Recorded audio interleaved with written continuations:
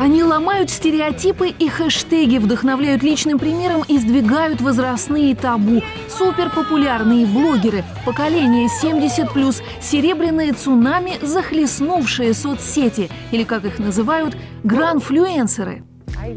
Я родилась в Барселоне, в Испании, 78 лет назад. Магда Льохис де Гутьеррес, звезда нью-йоркских сплетен, муза французских кутюрье, королева каталонского акцента, артистичная пенсионерка с гардеробной в несколько комнат и длинным шлейфом поклонников в Инстаграме. Три тысячи человек подписались на меня в первый же день. Сюрприз, сюрприз! Через какое-то время уже пять тысяч, а сейчас уже двадцать пять тысяч. Ее подписчики по всему миру в два, а то и в три раза моложе. Учатся создавать образ, смешивать краски, выделяться из толпы. Утром я сначала надеваю шляпку, потом это, это, это. Главное выбрать первую вещь. Стиву Остину 82, полтора миллиона подписчиков в ТикТоке. Я сам ошеломлен. Не могу в это поверить. Большинство – молодые люди. Фанаты знают его под ником «Дедушка Стив». Несколько раз в день обитатель скромной квартиры в доме престарелых маленького техасского городка веселит свою публику забавными танцами, фокусами и словечками. Доброе утро, мои маленькие петунии. Настоящим хитом стала серия «Готовка со Стивом». Это мало походило на приготовление еды. Какой-нибудь сэндвич или миска с хлопьями – но людям казалось, что это забавно. Четверть века он был зубным техником, четверть века билетером в театре. Карантин и соцсети подтолкнули к новой карьере. Если что-то непонятно с виртуальным пространством, юные фанаты помогают. Они хотят, чтобы я был их дедушкой. Или я напоминаю им дедушку. Я устала быть уставшей и больной.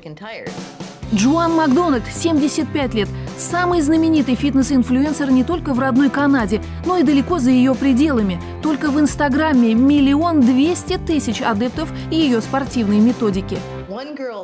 Одна девушка написала мне, что повесила на свой холодильник мою фотографию, с чего Джоан начала и к чему пришла. Это ее мотивирует. Лишний вес, высокое давление, бесконечные лекарства – все это было совсем недавно. Дочь Мишель, профессиональный тренер, придумала специальный оздоровительный комплекс. Итог – за три года минус 30 килограммов, плюс совершенно новая жизнь. Из бабушки с кучей лекарств – фитоняшки. А полгода Джоан тренируется в Мексике. На ее странице в Инстаграме тысячи историй о том, как ее пример вдохновил взяться за себя – они думают, если она может это сделать, то и мы сможем. Многие молодые пишут, что это помогает подтолкнуть к спорту их мам и тетушек. Пишут, наконец-то моя мама занимается и перестала принимать лекарства. LG Powers 68. У пенсионерки из штата Юта полмиллиона ценителей таланта. LG в прошлом график-дизайнер, изобретатель милых книжечек для записей. Через соцсети планировала наладить бизнес по их продаже, но творческое одержало верх над коммерческим. Молодежь чувствует, что мы поддерживаем их музыку. Я помню, когда вышли Битлз, они не нравились моим родителям, и они говорили, нет, тебе должна нравиться вот эта музыка.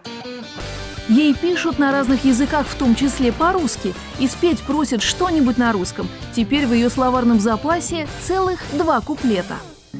Переходила над река на высокий берег над Петрой.